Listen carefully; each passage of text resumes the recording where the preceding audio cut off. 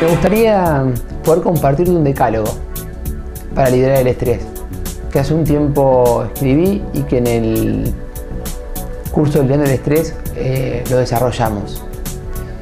En primer lugar, el poder asumir el control de nuestra conversación privada, de nuestros pensamientos. ¿Cómo haciendo consciente qué pensamos y después diseñando pensamientos que nos posibiliten generar emociones funcionales a lo que queremos lograr? En segundo lugar, estar presentes vivir en el aquí y ahora.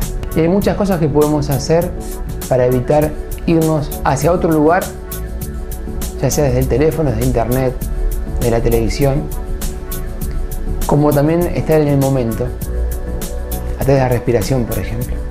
Entonces, vivir en el presente es otra de las herramientas que tenemos para liderar el estrés. En tercer lugar, simplificar y desdramatizar la vida. Entender que nuestra vida es más que ese problema que te está aquejando y poder ver el todo. No es quedarnos esa partecita que nos está nublando la vista. En cuarto lugar, poder reconocer los aprendizajes durante toda nuestra vida.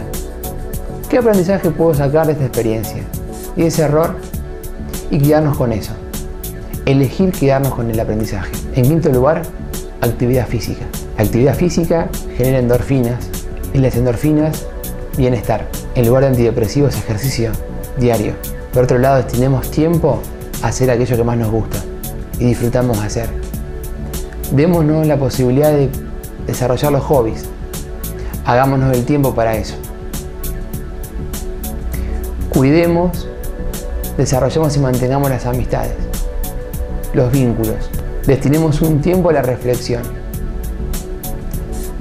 Aquello que queremos hacer, que está hacia adelante, también aquello que hicimos, que está hacia atrás. Démonos un tiempo regular a pensar cómo venimos viviendo y si estamos construyendo en nuestro presente ese futuro que queremos lograr. Definamos un proyecto integral que involucre lo laboral, lo afectivo, lo físico y lo espiritual.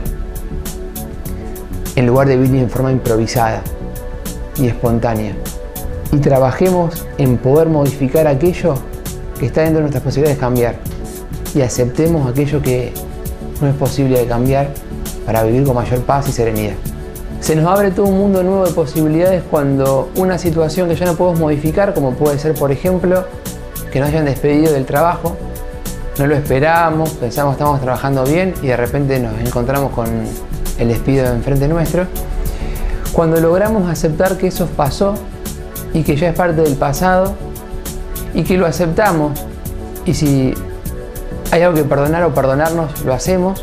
Una vez que eso ocurre, entramos en un estado de serenidad y de paz frente a la situación.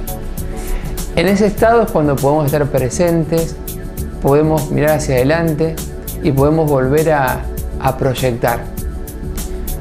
De ahí que cuando nos encontramos resentidos es fundamental primero reconocerlo y después tomar medidas para que eso se resuelva.